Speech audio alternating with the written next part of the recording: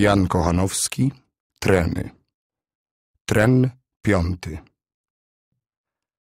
Jako oliwka mała pod wysokim sadem idzie z ziemię ku górze macierzyńskim śladem, jeszcze ani gałązek, ani listków rodząc, sama tylko dopiro szczupłym prądkiem wschodząc.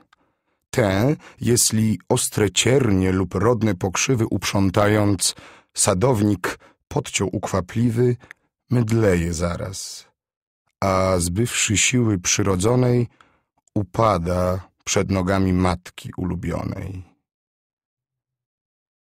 Tak ci się mej na milszej orszuli dostało.